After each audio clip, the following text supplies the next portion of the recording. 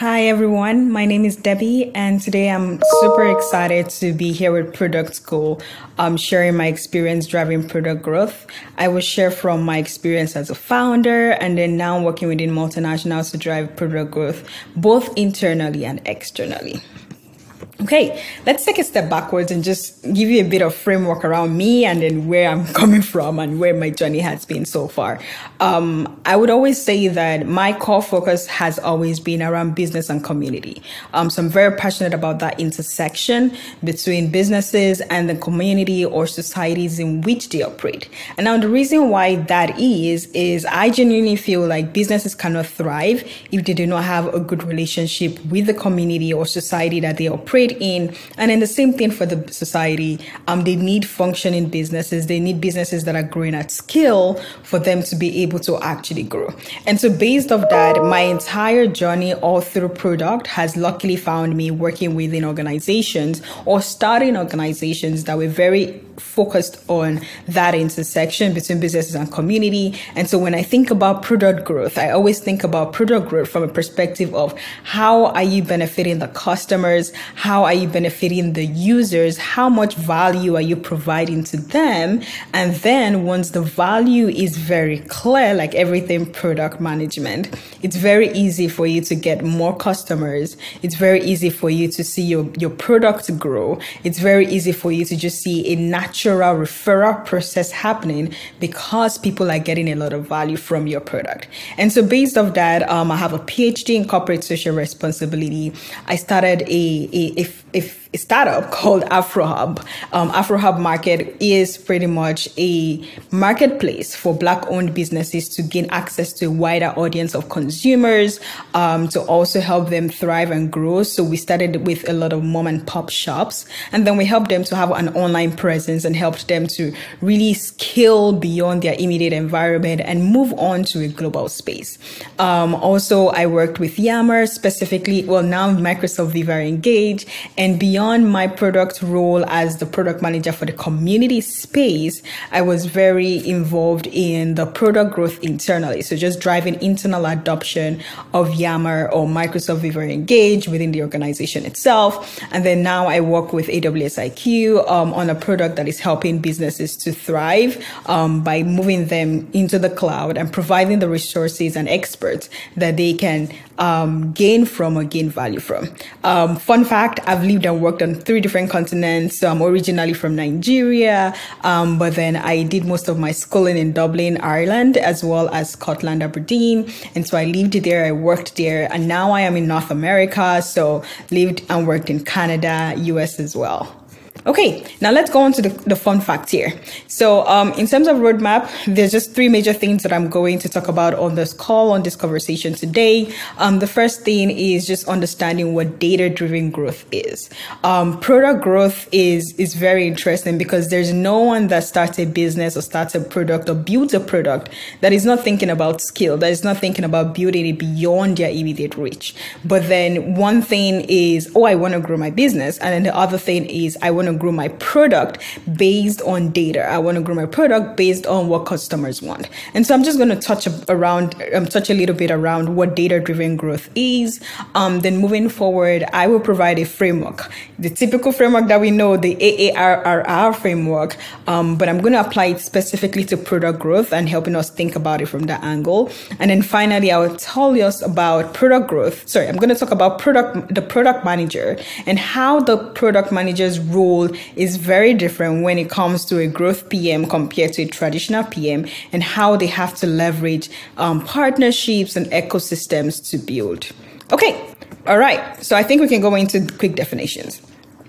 So when we think about product growth, um, the key thing that we're really looking at is what are the strategies that you as a product manager have kept in place? Or what are the tactics that you have as a product manager have kept in place that is aimed at successfully, sustainably increasing your user base? So, um, I have underlined sustainably here because I feel like a lot of times when we think about product growth, we just think, oh, I want my user base to increase. I want engagement to increase today. I want my revenue to increase today. But that's all good and great, but it needs to be sustainable. So you don't want to 10x today if when you 10x today in the next few weeks, it goes back to where it was in the past. So product growth is sustainable. It's, it's, it moves in a, in a sequence that has to continuously grow. If your business grows for a short period and it stops growing, or if your product grows for a short period and stops growing, then you're missing out on something. Now, moving on to the next layer of this is data driven growth. So it's one thing to grow based off, you know, your ideas, based off your thoughts as a product manager, because we're usually very opinionated. But then there's another aspect of growth, which is by data. And everything product management ideally should be by data. But when I really say data driven growth, I'm saying how are you leveraging the knowledge that you have about your consumers into your growth strategy? How are you getting data? So are you speaking to your customers directly? Are you having conversations with them? Are you having focus groups? Are you sending out surveys? Are you putting in metrics within your product itself to measure users' engagement and to measure what they want and what they're interested in? And then based off their needs, are you then adding those things as features to grow your business. And so the growth that is sustainable is when it is customer centric, because that means that whatever you're building is based off your understanding of what your customers want. And so it's easier for you to get them to be engaged. So if you're building a feature, for example, you're not building a feature because, oh, every other business that is doing something similar is doing this, or every other product that is in our same competitive market is doing this feature. No, you're building the feature because customers actually want them. And so when you do it that way, you realize that they're more engaged. So if you've read the book, the book Hooked, you see that your engaged user happens because you are actually fulfilling the needs that they want. And so you have to, you put in less work in really getting them to move on to the next step. Um, I'm going to think about this from an application perspective. So in my current, in my experience, um, when I worked at AfroHub, when I started AfroHub, um, we started technically as a business directory. So what we wanted to do at the initial stage was just create this space where anyone that is looking for a black owned business um, in Vancouver, Canada could easily just go onto this website or this database and then see the different businesses and the different um, industries and then patronize them. But then when we started speaking to customers more, when customers would come onto our website, realized that, you know, we, we had a lot of pop-ups, we had a lot of, um, um, like two two boxes where they could give feedback, so feedback loops. So we got a lot of feedback from customers that they wanted to not just find out about these businesses, but they wanted to actually purchase the products from these businesses from one central space. And so for us, it was just a no brainer that okay, so now we've already scaled, we've already grown in the sense that customers know about our application, they know about our database, but now what customers want to move to the next level is for us to ensure that the products of this business is I in one space for them.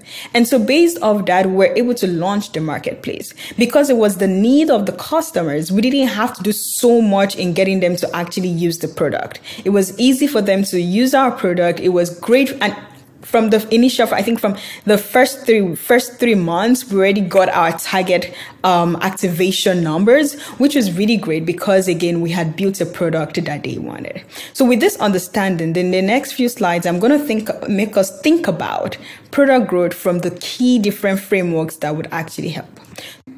Okay, so today we're going to use the Pirate uh, metrics, which everyone uses. Um, you think about this metric from every aspect of a product manager's life.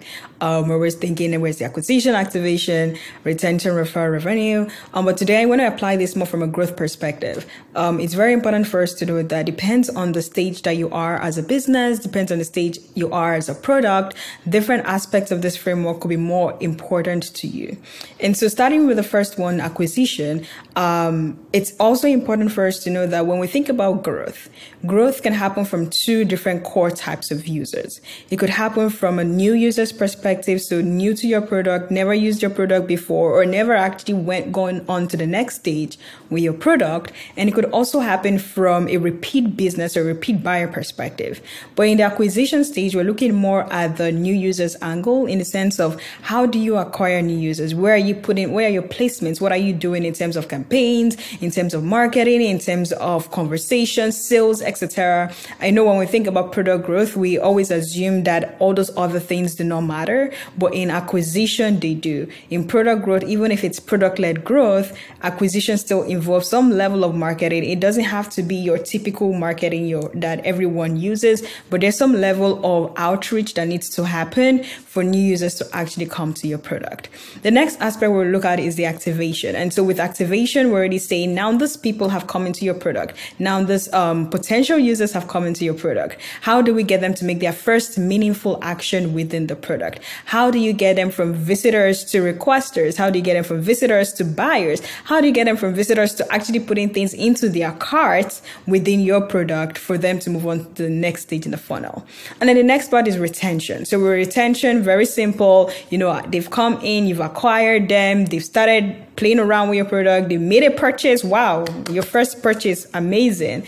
Um, but then how do you encourage them to come back to become return users? Because it's usually cheaper to have a return user than for you to acquire new users. Because return users already have an understanding of your product, they already understand your value prop, they already understand the benefits that you give to them, and they have already used your product. And so it's usually easier or cheaper for you to get them to come back again, but you have to have certain things in place. You have to have certain features in place to encourage this behavior from the users.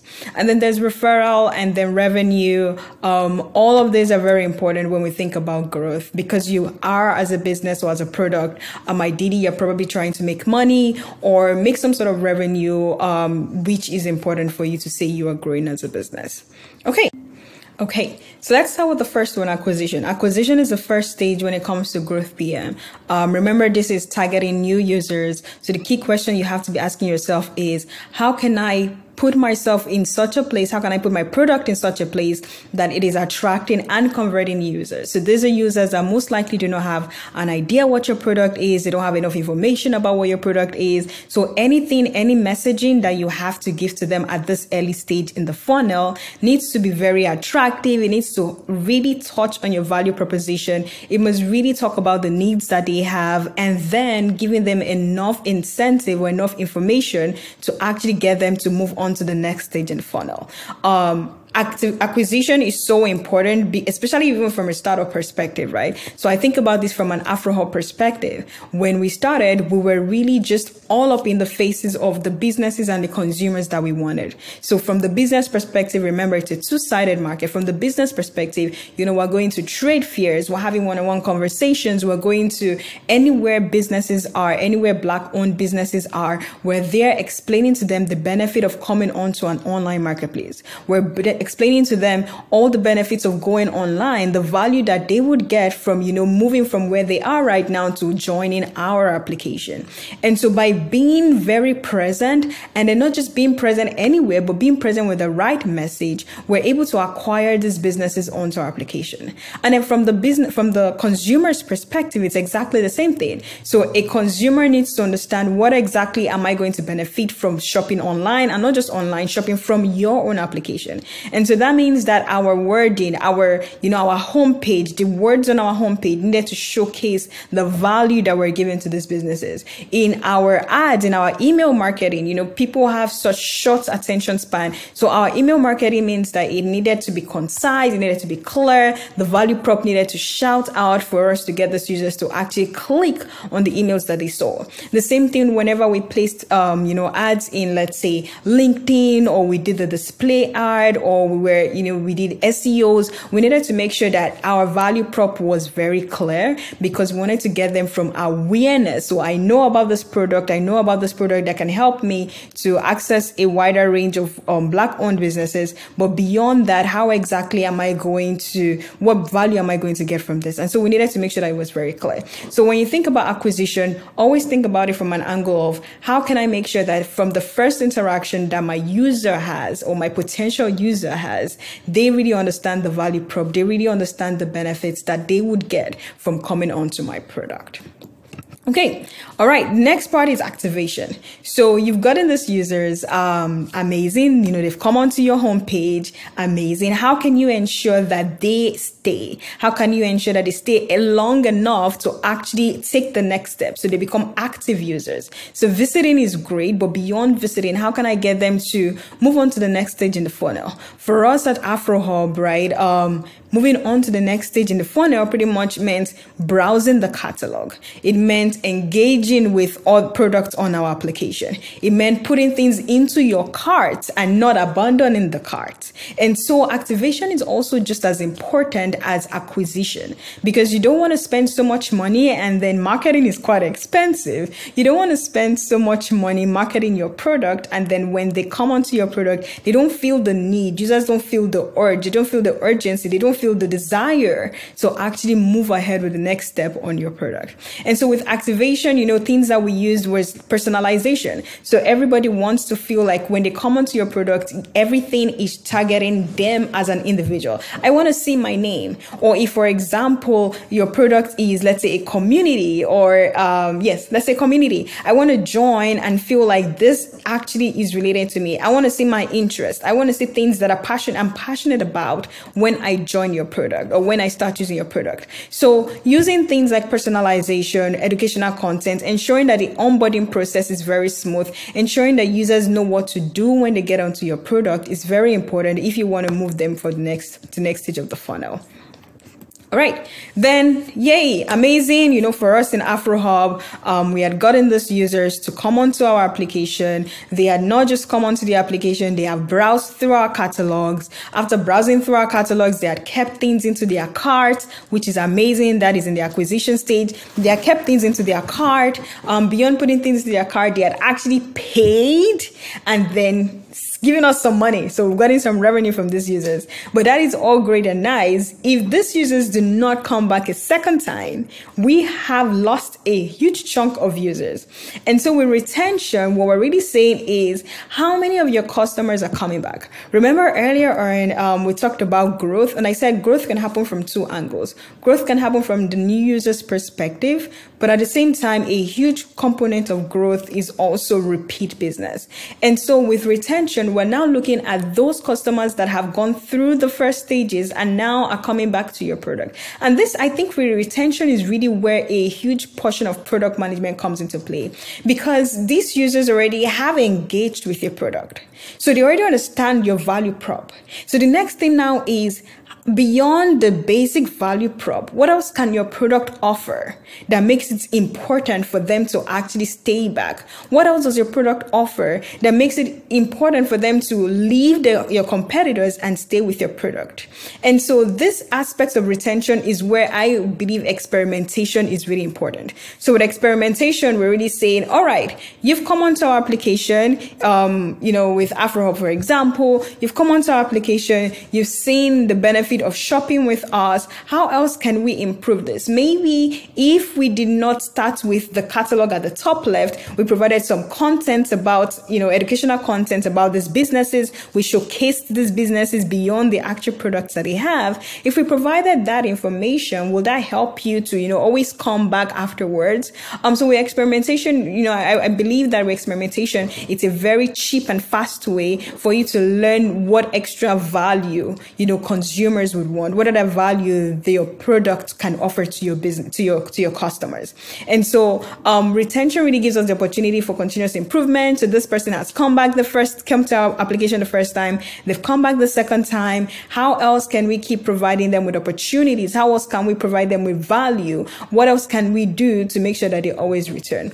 Um, the good part about retention is retention is way cheaper than getting new users. With new users, yeah, again, like I said earlier, you're buying these new users, quote unquote, by putting yourself in so many other places. There's a lot of interactions that you have to do to get them to really believe that there's a value in your product. But with retention, you know, these are users that have already gotten some value from your product. So it's easier for you to just tap back into that value and increase it. And so with retention, you're really looking at how can I engage my customers? And then a good part to this is always by rewarding loyalty from an AfroHub's perspective, um, what we really did to grow retention rates um, was really by providing some sort of reward for return buyers. So you would, for example, recently I just you know did this huge buy from Sephora because as a member that has bought from Sephora over a period of time, they would give you a certain percentage during their sale. And so you will have extra money to buy more because you think that you're getting a lot of value.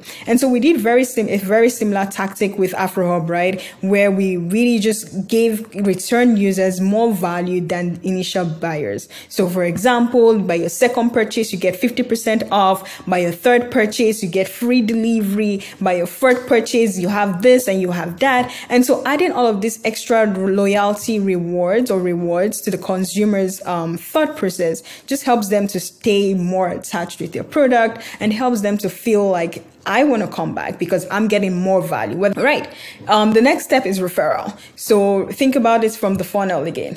Um, at the beginning stage, these consumers have gotten knowledge about your business, they've seen your value prop, they've come onto your product, they have made a purchase. After, for example, they had made a purchase, um, they had come back and you know bought a second time or bought a third time. And then the next part when you want to grow your business is how can you get those users to actually tell their friends, tell their families, tell other people about the product that you have.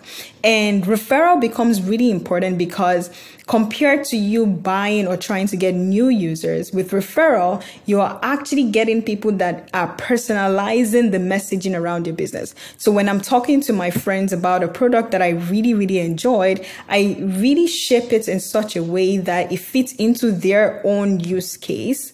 And that is the advantage of referral. Um, referral encourages your retained users to introduce your product to new potential users. Um, you're leveraging your users as promoters to accelerate growth for your own business. And it creates a very valuable feedback loop. So what really happens with referral is now you can hear back directly from your customers and from the people. Like if, if no one is referring your product, maybe that's a problem. Final step here is in the revenue. So from the revenue perspective, we're really saying that how can we ensure that we've kept transparent pricing and monetization strategies that will help these customers and consumers to stick to our product, to still see the value and then retain or come back again, become repeat businesses and even get to the stage of putting out referrals or telling their friends and families and other people about our product. From an Afro perspective, you know, we really use the freemium process when it comes to our revenue, especially from the business's perspective. So for the businesses on our application, at the initial stage, you know, we told them that, hey, we wanted to just try this model that we've created. We've created this business that can help you access a wider range of customers, a wider audience.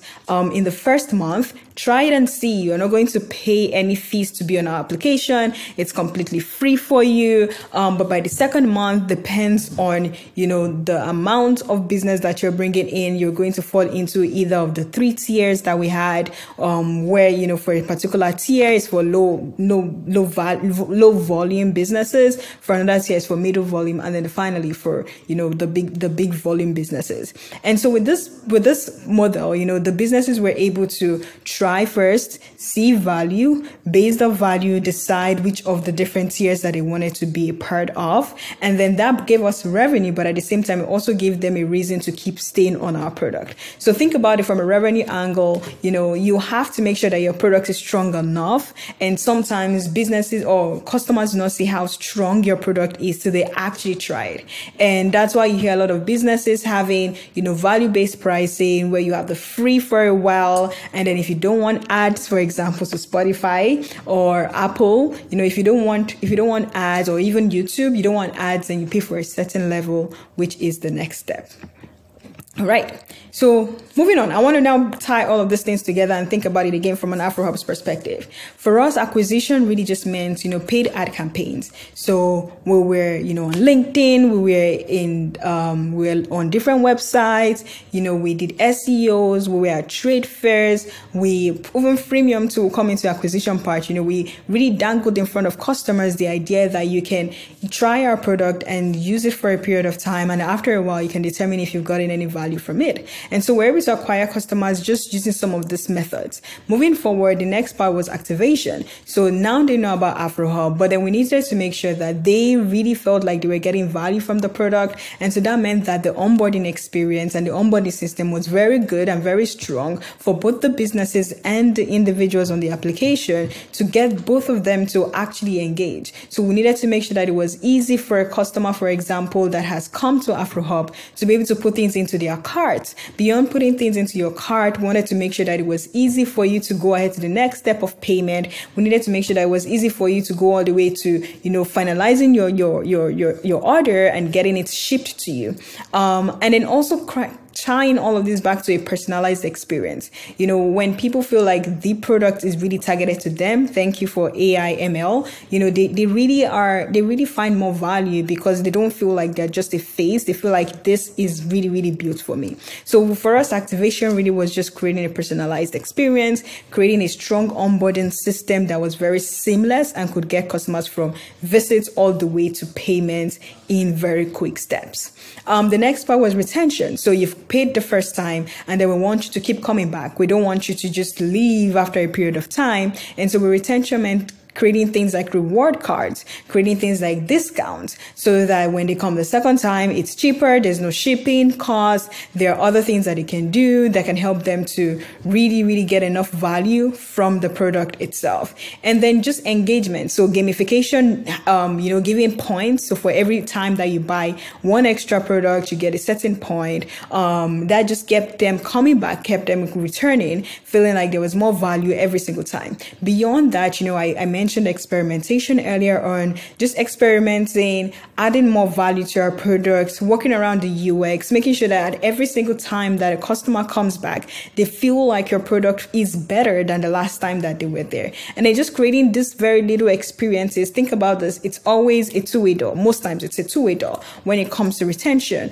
Um, I want you to keep coming back. So I'm going to make changes as quick as possible to fit your needs at every given time so that you are staying on the application and you are not going away.